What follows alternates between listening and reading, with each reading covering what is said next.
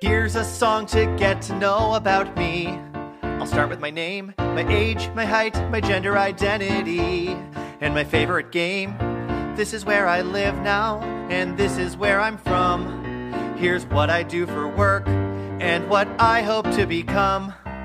Here's a guilty pleasure and a pet peeve, and something I like, a goal that I hope one day to achieve. And can I ride a bike? My favorite place I've been to, and a place I want to go. My favorite time of year, and my favorite TV show. Here's a random fact you might not guess. Surprise! A thing that brings me joy and brings me stress. I really try to avoid that. I have this many siblings, that's the size of my shoe. And I hope you'll use this song to let everybody get to know you.